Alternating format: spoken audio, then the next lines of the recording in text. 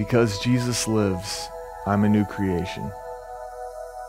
When I was about 10 years old, I used to get these headaches that would send a tingling sensation from the top of my head all the way down to my spine. And it would cause really bad headaches and a lot of pain.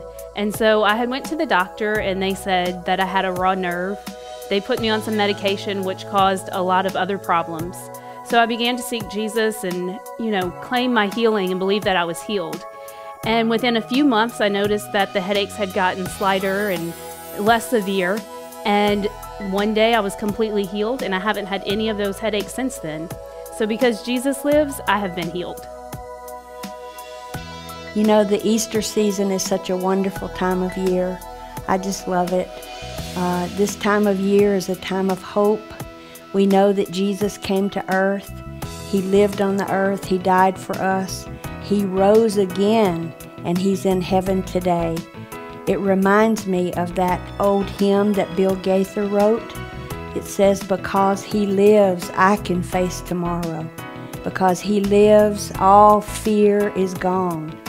Because I know he holds the future, my life is worth the living because he lives. That's a wonderful thought. It's a wonderful comfort to know that Jesus does live in heaven and that all of our loved ones who have already died, that they live in heaven with Jesus too. My Kip that I lost about three years ago, he's in heaven today. He's with Jesus. So we have that assurance, we have that blessed assurance that we know because Jesus lives, we can face tomorrow. Because Jesus lives, I can wake up each morning filled with joy, filled with happiness, and filled with peace. Because He lives, I can face tomorrow.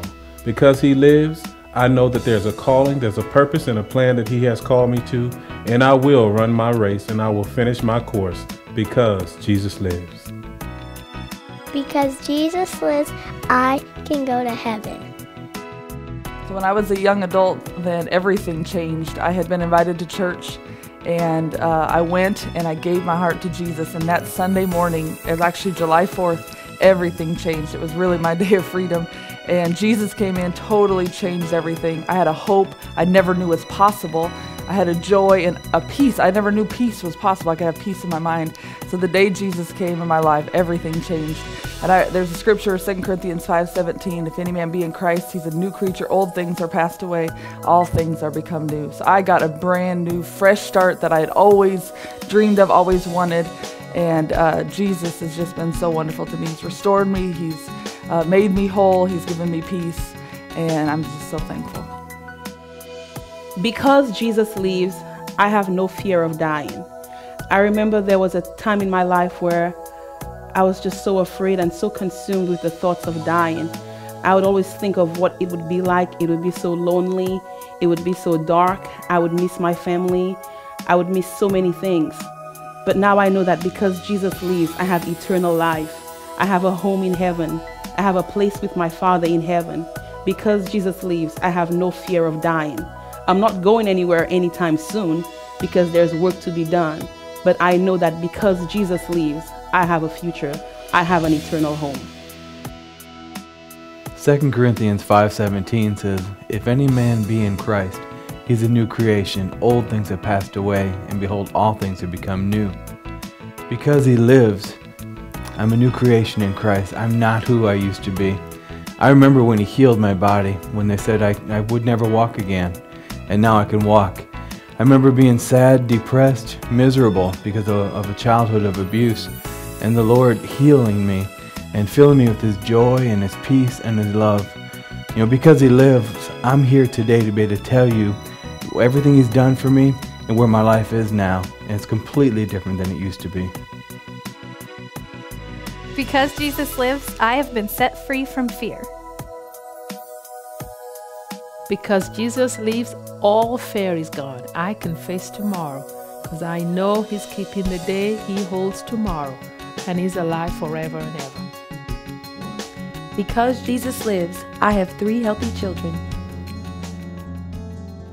Because Jesus lives, you can live. Because Jesus lives, I get to wake up in the morning. And I also get to enjoy soccer. Because Jesus lives, I am redeemed, I'm restored, I'm free, I'm healed, and I'm loved. Um, I could think about a time where I felt so alone in this world, like nobody cared, but Jesus loved me so much that he gave his life for me. Even if it was just me on this earth, he still would have died for me. So, because Jesus lives, I have everything. Because Jesus lives, I have been set free from homosexuality. I no longer struggle with my identity because I know who I am in Christ. Because Jesus lives, I know that whatever I face in life, I can overcome it. Because Jesus lives, I know my family is blessed and covered by the blood.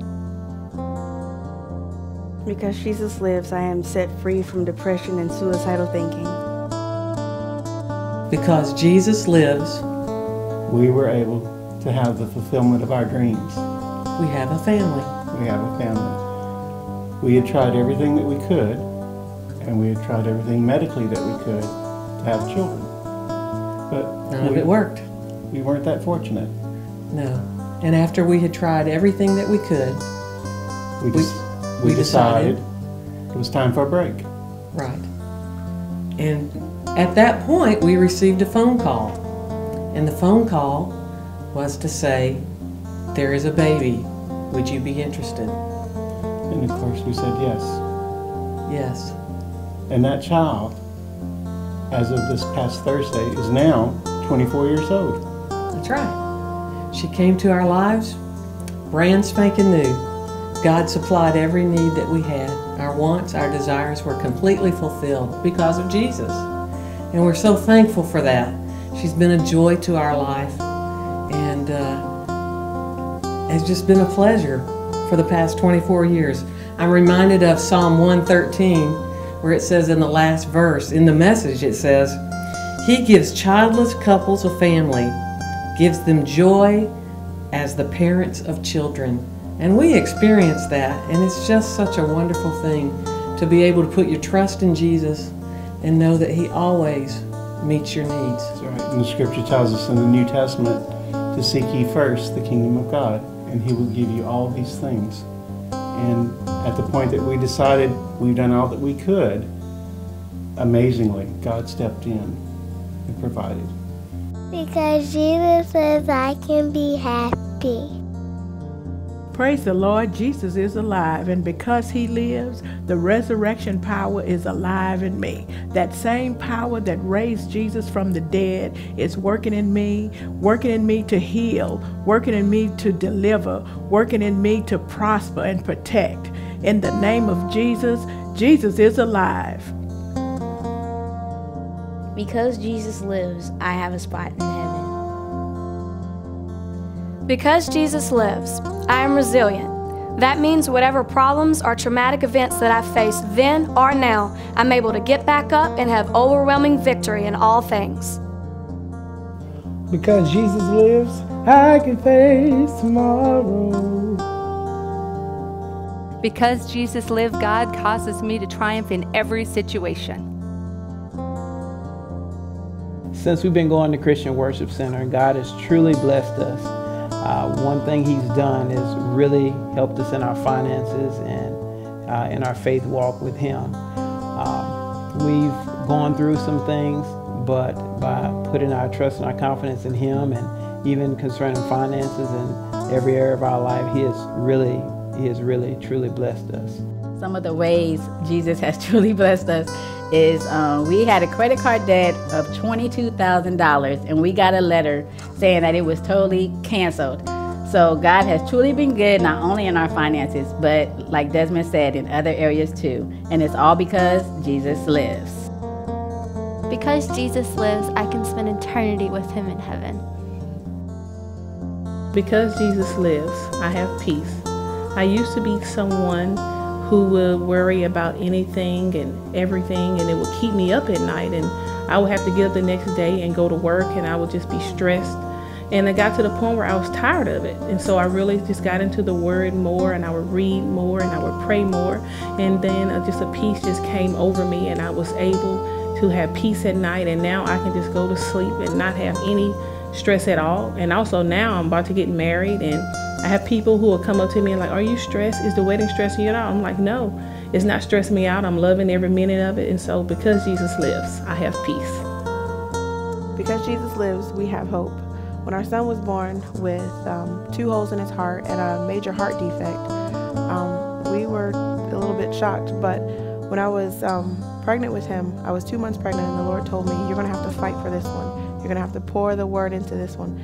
Um, you think the other two are great, but I'm going to use him mightily, and he is the beginning of great things. So when we got the report from the doctors that he had these heart defects, we knew that we had hope. We knew that we could stand on God's word and he was going to be the beginning of great things. Because Jesus lives, we can have peace. We could have peace when our son was going through those six heart surgeries and everyone else around us was scared and nervous. We could have peace in the waiting room. Because Jesus lives, we could have peace when he was being medevaced from Alexandria to New Orleans. And they said he could have died on the way there. We had peace knowing that Jesus is the healer. Because Jesus lives, our son lives today. When we first got to the hospital in New Orleans, the doctors would give us bad report after bad report. They would say, you know, we tried this method and it didn't work, so we need to do surgery. Or this surgery didn't, didn't do what it was supposed to do, so we need to do another surgery. And that happened time after time, but because of the word that God had given us, because we know that Jesus is our Lord and Jesus is our Savior and Jesus is our healer, we were at perfect peace at all times. Even when they kept telling us that, that He needed more, He needed something else, we knew that God was on our side. We knew that He would be healed. We knew that He would be whole. We knew that God would bring Him through. More specifically, the holes in his heart caused him to not be able to breathe. So just like a normal person would breathe in and out, he breathed very short and shallow, and it was he was struggling to breathe. But we stayed fast and we continued to speak the word over him, and we constantly had healing music playing in the room. We constantly had an iPad um, full of uh, the word playing in his ears, and he heard it, and we heard it, and so our faith continued to grow. And despite the doctor's report, which was negative seemingly every time. And they said we would have to move him to ICU. We continued to move that iPad full of the word and full of music. And so our faith continued to grow. We never wavered. And we just knew we would see a miracle. We knew that we would see him raise up and um, grow. And so after that last surgery, he began to pick up weight and get really chunky and fat like babies do. And it was a real victory for us. You know, one of the things that really struck us was how the nurses would tell us that we just sitting in Logan's room because it's so peaceful. All the other parents were nervous or scared and chaotic, and they said they would just come and sit in his room and listen to the music play, and just to, just to be at peace because it was so peaceful in there, because the presence of God was in that room. Because Jesus lives, He's in my heart. Because Jesus lives, uh, I know I'm never alone. I know that He's always faithful and He's always going to be right there by my side. I can trust Him.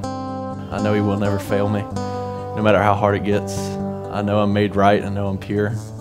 I know I'm wrapped in the robes of righteousness because Jesus lives. After 30 days after I was discharged from the hospital, the doctor told me when I left, more than likely, I had an enlarged heart and normally it won't it won't heal. Nine out of ten times it doesn't. He hasn't never seen it. He said it was bad and uh, for me to start taking care of myself.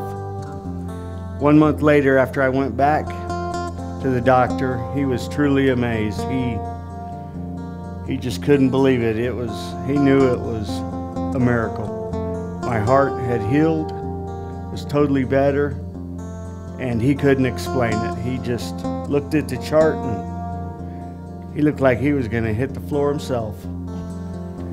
Really, he he said he didn't he didn't understand it and couldn't explain it. It was truly a miracle, and uh, I thank God for that. So I'm still here, and I believe it was a miracle.